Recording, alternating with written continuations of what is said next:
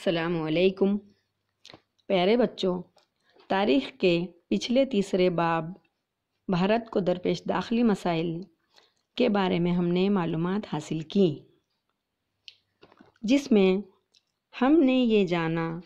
और समझा कि आज़ादी के बाद हमारे मुल्क को आने वाले मसाइल, जिसमें गरीबी, अवाम के रोज़गार के मसाइल तालीम और सेहत व तंदरुस्ती के मसाइल और अपने मुल्क को दूसरे ममालिक के हमले से बचाने के लिए दिफाई मसाइल का सामना करना और अंदरून मुल्क के दूसरे मसलों को हल करते हुए मुल्क ने किस तरह तरक्की करनी है और हमारे आज़ाद भारत के पहले वज़ी अज़म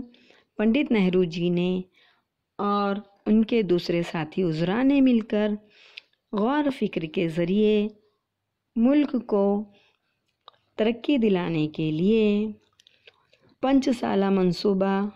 बंदी का नमूना तैयार किया और मुश्तरक माशियाती निज़ाम का रास्ता इख्तियार किया, जबकि दुनिया के दूसरे चंद ममालिक ने सरमायादाराना निज़ाम को चुना था तो चंद ममालिक ने इश्तराकी माशी निज़ाम को अपनाया था। तो बच्चों, आज हम अपने मुल्क की मुश्तरक माशियती निज़ाम के बारे में मालूम हासिल करेंगे।